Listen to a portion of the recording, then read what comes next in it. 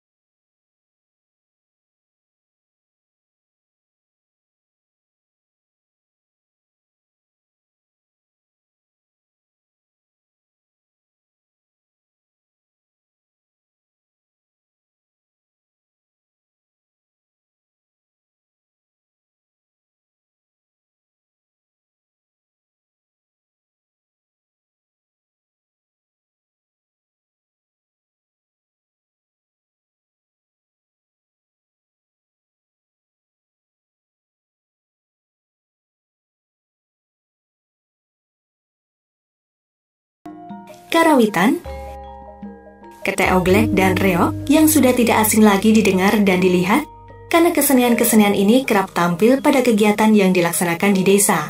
Menyandang sebagai desa budaya sejak tahun 2010, membuat Desa Semin menonjolkan program desa di bidang pembangunan dan potensi budaya.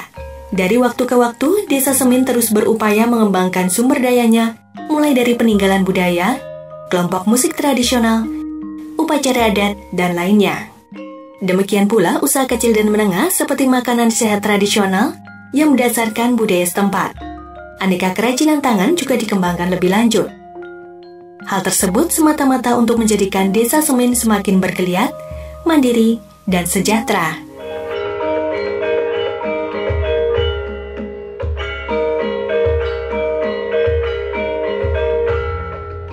Bagi wisatawan domestik maupun mancanegara, jika berkunjung ke Jogja, maka sempatkanlah mampir ke Desa Budaya Semin.